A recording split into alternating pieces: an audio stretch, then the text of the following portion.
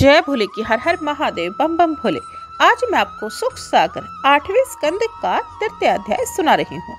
तुम कह रक्षक हरि के, टेर टेर हरि बेर।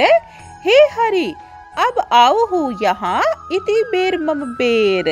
भक्त राज गजराज की, सुने टेर जेहि काल।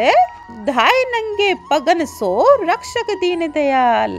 सुनी श्री सुखदेव जी कहने लगे, हे राजा परीक्षित जब ब्रह्मादिक अन्य देवताओं ने गजेंद्र की रक्षा नहीं की तो भक्त गजेंद्र की दिव्य स्तुति से प्रसन्न होकर भक्त वत्सल साक्षात श्री हरि भगवान स्वयं नंगे पांवों से अपने वाहन गरुड़ पर चढ़कर तत्काल दौड़े हुए आए, जहाँ पर की ग्रह और गजेंद्र का परस्पर युद्ध हो रहा था।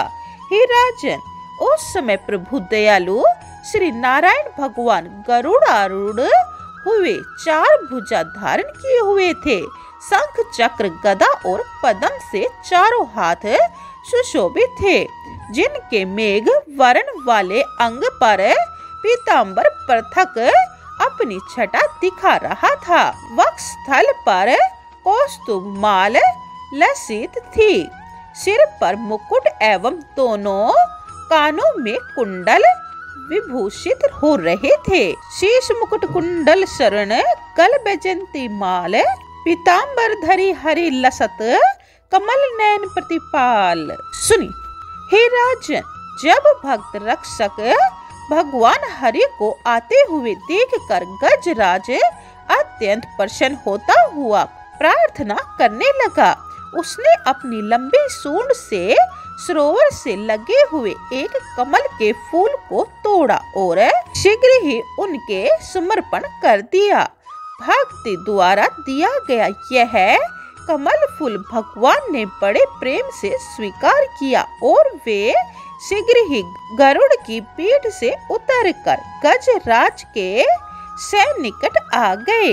हे राजन, फिर आते ही पहले दयानिधि भगवान ने हाथी के सहित ग्राहक को भी जल से खींचकर बाहर निकाल लिया और शीघ्र ही अपने तीव्र चक्र से ग्राहक का मस्तक शरीर से पृथक कर दिया, जिससे वह बंधन मुक्त हो गया और भगवान ने अपने भक्त गजेंद्र की आत्मरक्षा की।